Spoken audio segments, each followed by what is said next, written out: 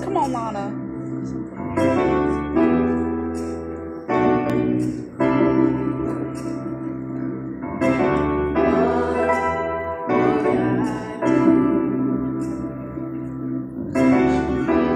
I could suddenly